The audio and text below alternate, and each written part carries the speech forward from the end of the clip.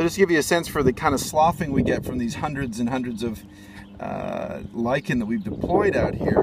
This is about typical. This is our uh, mid-February census. These are different thalli that we've recovered. We'll bring back to the lab. Uh, these, these, are generally not replace, not not re-outplantable, but we can definitely cultivate them and uh, use them for other uh, trials and experiments. So this is a typical amount, you know, not a lot, but it's, it's a few individuals or a few partial individuals from each of our sites uh, that we typically encounter when we do our monthly census of our restoration experiment.